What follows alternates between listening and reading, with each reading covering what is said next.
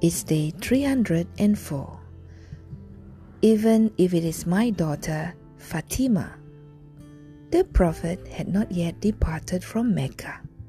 He was teaching the newcomer Muslims the commandments and prohibitions of the religion. It was not at all easy for these people to break their old habits. Among these people was a woman by the name of Fatima who had stolen something. She had to be punished so that the same thing would not happen again. But there were those who didn't want to see her punished.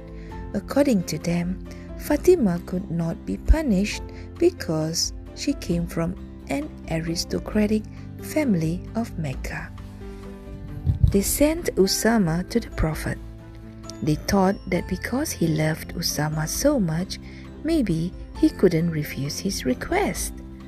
Usama explained to the Prophet all that had happened, and then he requested that Fatima not be punished because she came from an aristocratic family.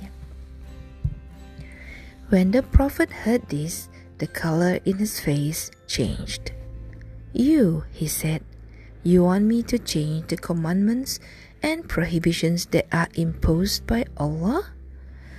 Usama was saddened. He understood the mistake he had made. O Messenger of Allah, he said, can you forgive me for this improper behavior of mine? The Prophet forgave Usama, and then he gathered the people and addressed them. Those who came before you were destroyed because of the following practices. When someone from among the aristocrats stole, they forgive him. When the poor and powerless people stole, they would punish them. The people were listening to him in complete silence.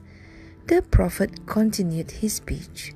I swear by Allah, in whose hands is Muhammad's existence, even if my own daughter Fatima had committed this theft, I would have punished her.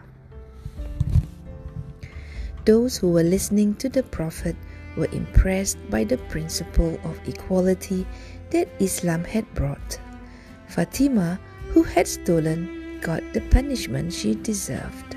After she was punished, Fatima sought forgiveness. From now on, she would never commit such an evil act. Those who had intended to steal gave up this idea for fear of being punished.